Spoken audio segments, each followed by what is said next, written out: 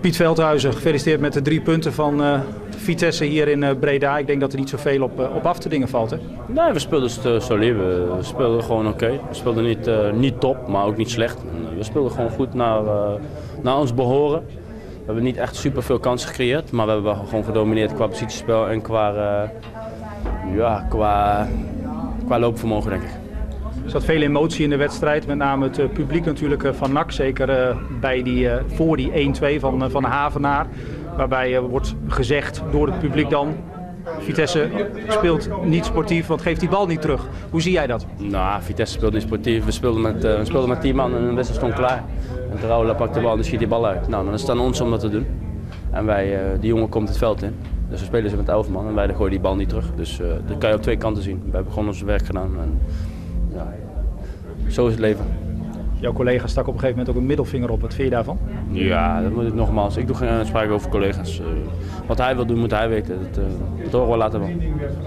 Dik verdiende overwinning. Je zei het zelf ook al in de tweede helft ook uh, nauwelijks nog in de problemen gekomen. Dus dat zegt toch weer iets over goede positiespel van Vitesse? Tuurlijk, je ziet ook de laatste twee, drie minuten zag je toch even dat de nak een of, uh, of iets slotje eruit gooide. Dus je zag van uh, ja, een paar jongens gingen voor, naar voren toe met kopballetjes, dan kunnen ze gevaarlijk worden. Maar nogmaals, we hebben goed uh, professioneel en, en zakelijk gespeeld. Mooie onvolwassen overwinning en op naar de volgende. Ja, en goed in de race voor de tweede plaats. Dat zou een absolute hoofdprijs zijn voor Vitesse als je voorronde Champions League haalt? Nou, kijk, absoluut. Ik denk dat elke plaats bij de top 5 van Vitesse op dit moment een, een goede We hebben een slechte periode gehad, nu zitten we weer in een betere periode. Maar we zijn niet tevreden en uh, dat is goed voor ons, qua, qua persoon en qua individu en qua team. Want we, ja, we moeten wel hongerig blijven. En uh, als je hongerig blijft, dan speel je goed voetbal en dan, dan ben je ook hongerig naar meer punten en dan komt het resultaat vanzelf. De ploeg was hier al een dag van tevoren. Jij bent later hier naartoe gereisd omdat er met jouw leuke woningje, volgens mij in de buurt van, van Latem in de Limes, iets, iets gebeurd is. Brand. Vertel eens. Ja, dat, dat klopt natuurlijk een, uh, ja, een heel rot verhaal. Omdat het, ja, je zit natuurlijk met je vrouw en je kind daar. En je, je bent daar voor de eerste dag dat je daar een keer gaat slapen om te proberen hoe dat is. En ja, als je dan ziet wat er gebeurt. En, en dat huisje vliegt in de brand en, en je kind en je vrouw zijn naar binnen. Ja, dan, dan is dat natuurlijk wel beangstigend en, en triest. Maar gelukkig ook zij dan, is er niks met ons gebeurd. En ja, het is materiaal.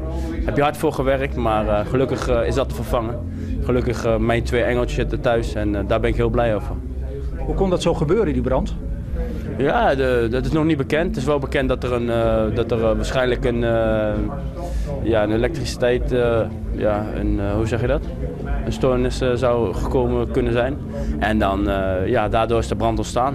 dus dat is natuurlijk wel vervelend. Maar ja, ik ben blij dat we nogmaals dat er niks met ons drie gebeurd is en dat wij gewoon lekker veilig thuis zaten, gelukkig die eind van de avond en, en we hier kunnen staan.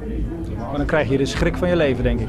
Nou, ik wens dat niemand toe, want uh, als je dat meemaakt, dan, nou, nogmaals, ik heb de laatste drie dagen, twee dagen ook heel slecht geslapen, omdat het natuurlijk heel beangstigend is dat je nu alles, ja, ik kijk eigenlijk nu alles na, na en ja, je kan niet overal de stekker uithalen, en, maar ik ga het wel proberen, omdat nogmaals, ja, ik ben gewoon heel bang dat er weer iets gebeurt. En uh, dat is denk ik ook logisch na zo'n uh, na zo'n uh, na zo'n ramp.